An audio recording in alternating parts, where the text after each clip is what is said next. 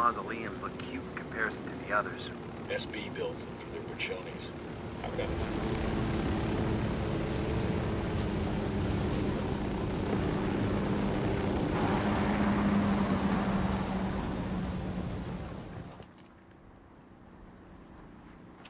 We got tangos, danger close.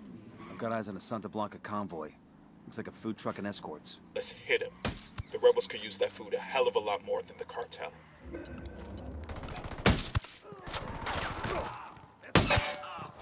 Let's go ahead and loot the truck. We're clear.